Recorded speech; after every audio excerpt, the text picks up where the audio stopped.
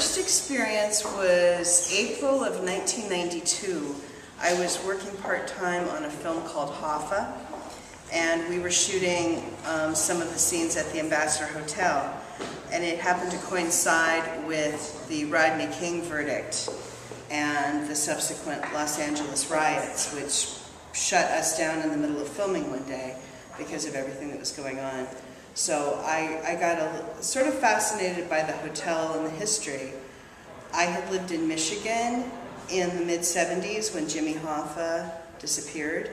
And so I knew who Jimmy Hoffa was. And then I was working on a film about Jimmy Hoffa, who was an adversary politically of Robert Kennedy, who happened to be shot at the Ambassador Hotel. And things just, the history just kind of kept putting itself together, and I just started thinking about the hotel. But then I never went back to the hotel until 2004, when I went back to go work on another film called Must Love Dogs. And we were only there for three days, but um, I, I like to take a lot of pictures, and all the different places that I go film, I take pictures all the time.